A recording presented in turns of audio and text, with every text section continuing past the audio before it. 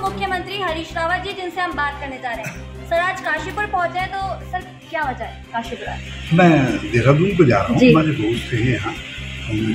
से जी। तो मुझे आने में हो गया रास्ते में के अंदर एक नौजवान मारा गया था जी। उन्होंने सड़क में जाम लगा रखा था तो वो ढाई तीन घंटा वहाँ से तो यहाँ मैनेजर राजनीति बातचीत परिवार है परिवार से बात सर बात करें तो हरक सिंह रावत जी का एक बयान आ रहा है उस पर आप क्या कहना चाहेंगे आपको लेकर?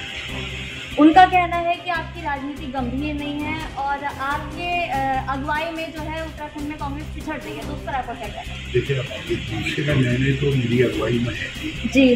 अब तो अगुवाई जी।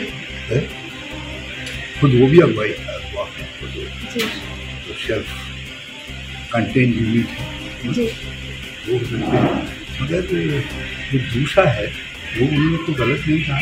सत्तर के बाद मेरी उम्र सत्तर से सत्तर से सेवेंटी से पार है। जी। ये जो सत्तर के बाद वाला होता है वो बच्चा हो जाता है उसके बाद तो आदमी। जी जी। तो ये ये सिंह जी ने गलत क्या कहा सही कहा वो, वो जो साठ में है साठ के आसपास वाले साठा पाठा वाले जब उनसे सावधान रहना। है जी सर सर बात करें तो कांग्रेस की उत्तराखंड में मजबूती के लिए किस तरह काम करते हैं सब लोग मिलजुल करके काम करें।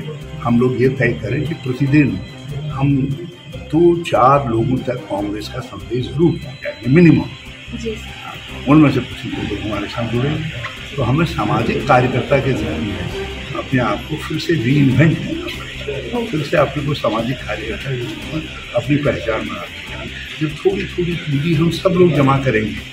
ये जितने लोग हैं यदि ये दस दस भी जमा करेंगे तो कांग्रेस अपने आप कारगर होगी तो ये थे हमारे साथ पूर्व मुख्यमंत्री हरीश रावत जी जिनका साफ़ कहना है कि अगर कांग्रेसी मिलकर काम करेंगे तो कांग्रेस उत्तराखंड में ज़रूर मज़बूत होगी। सुरागीलाल चैनल से मुंजिला फातिमा अपने सहयोगी नितिन बोरा के साथ। उत्तराखंड की खबरों से जुड़े रहने के लिए आप हमें सभी सोशल मीडिया प्लेटफॉर्म्स पर सब्सक्राइब लाइक और फॉलो कर सकते हैं। धन्यवाद।